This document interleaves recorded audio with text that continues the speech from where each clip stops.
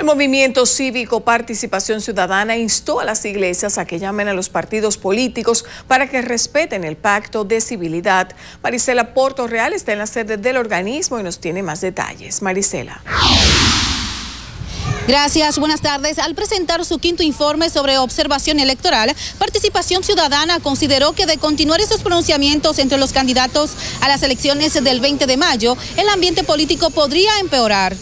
Entienden que las organizaciones políticas deben tomar serias medidas para evitar hechos lamentables, de manera que no coincidan en actividades de campaña y asimismo implementar mayores controles en el uso de armas de fuego y bebidas alcohólicas. La realidad es que el pacto obligaba a que en la campaña se utilizara, oigan bien, un lenguaje que no generara odio, rencor. Ese es el término que utiliza el pacto firmado.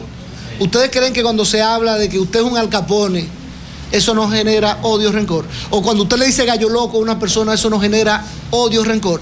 Pues obviamente están violando el pacto. Medida que impliquen un control de las armas de fuego que utilizan los militantes de los partidos políticos en las actividades proselitistas y del consumo excesivo de alcohol que hace que incidentes de esta naturaleza se generen.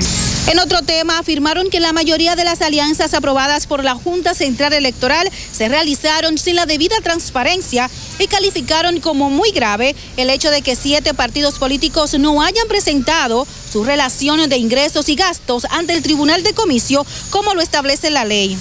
Participación Ciudadana dijo además que ha integrado el 80% de los voluntarios que participarán como observadores en la próxima contienda electoral. Es lo que tengo hasta el momento. Ahora retorno con ustedes al centro de noticias.